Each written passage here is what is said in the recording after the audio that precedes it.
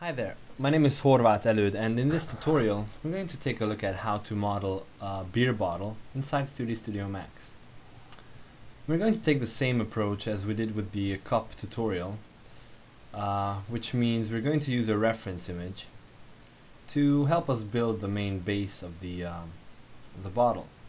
We're going to use 2D splines to draw the outside of the uh, bottle, half of the outside line, and then we're going to use a tool which will revolve our 2D line in uh, 360 degrees so we basically get a 3D model uh, out of the spline. so now um, what we need to do is to take this image into 3ds Max as a background image so that we can easily trace the outside line. So let's jump into 3ds Max now and we're going to do the modeling from the front view apparently. So I'm going to uh, just maximize this. And I'll press Alt B to bring up my viewport background options and here I'm going to click match bitmap and I'm going to tick display background and lock zoom pan so we don't distort our um, background image as we zoom in or out. So once we set these up, make sure match bitmap is on, display background and lock zoom pan. After this we click on files and we navigate to our um, reference image.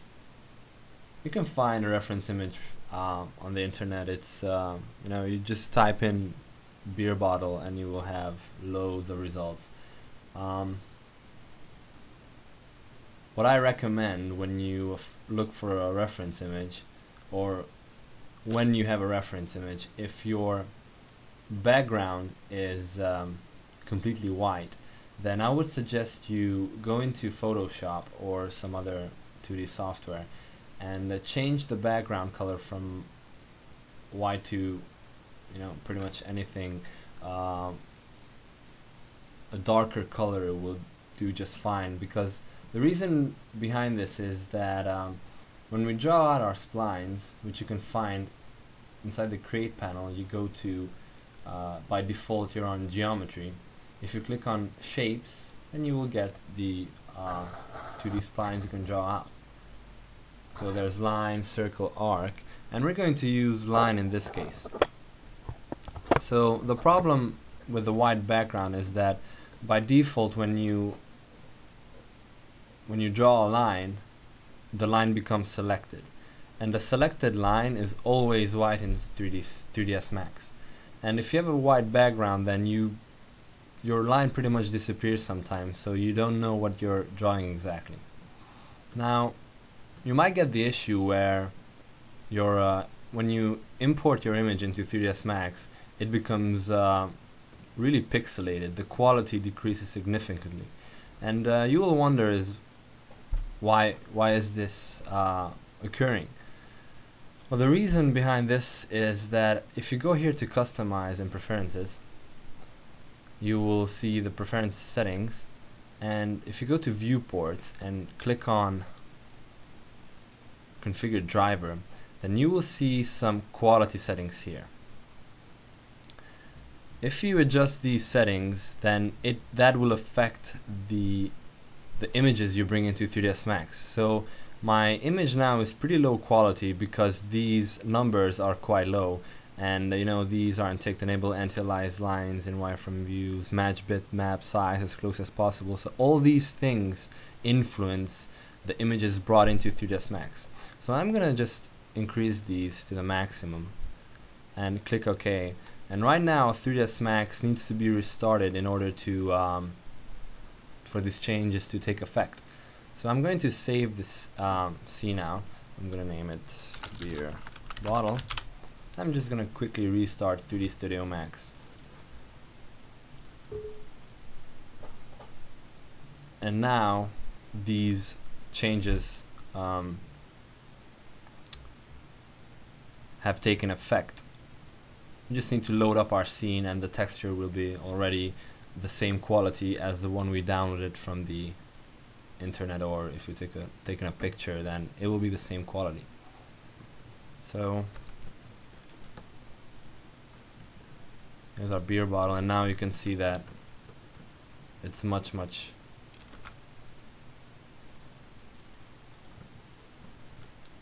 smoother.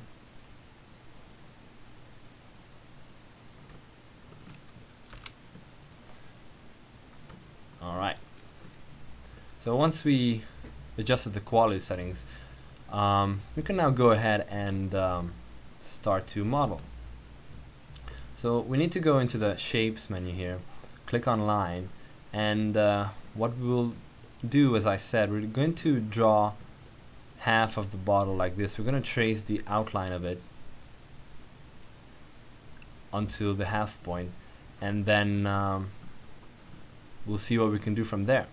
I'll start from the top, and uh, you know the the cap of the bottle is pretty much covering this upper part, but it's usually um, pretty flat. So I'll draw some a point here. I'll just click out and uh, draw something like that.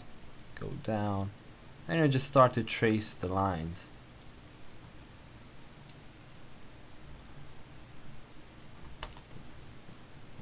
And just uh, if you need to um, pan the camera you just right click to set the line you were uh, creating to just uh, put it down and then uh, you will build another line where you left off.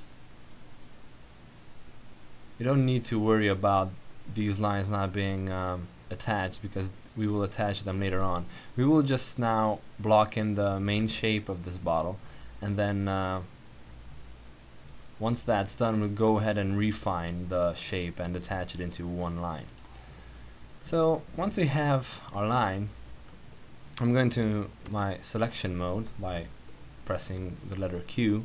I'm going to select this line here, go to my modify panel, and then I'm going to go to attach and uh, once attach is activated now I can click on the lines I want um, attached to my first line. So right now I have one big line. So I'll just go out from attach mode and uh, if I go to vertex now you can see all the vertices that make up this line. The problem now is that this spline, this whole spline is made out of multiple lines.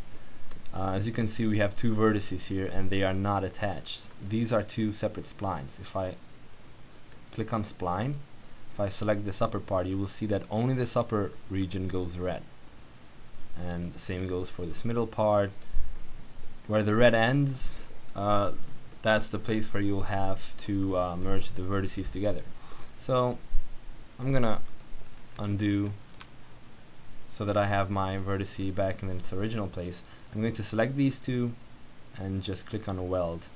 I need to as you see uh, I clicked on weld but it didn't do anything. That's because the threshold uh, this value isn't high enough. This says that 0.1 within 0.1 uh, unit range weld every vertices together. But these are more than 0.1 um, units far from each other so we need to up this value and just click on weld now. You will notice these handles appear these green um, vertices with the yellow line before them.